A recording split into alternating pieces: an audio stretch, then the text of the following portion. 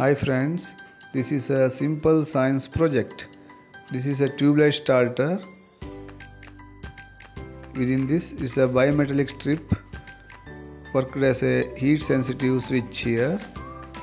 This is made with a simple circuit having two terminal of copper wire and an LED bulb is connected in series. This is a battery cap. We have to put a 9 volt battery as a source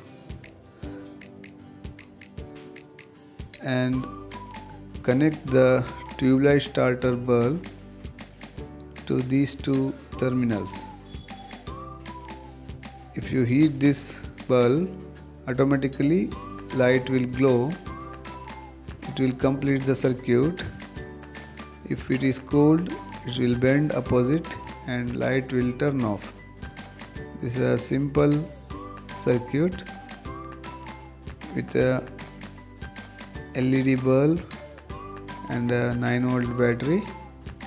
Once again you will see the heat sensitive switch. If it is heated, it will complete the circuit.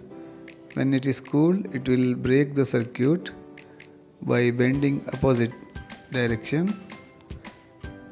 This is a simple science project. Try it. Thank you all.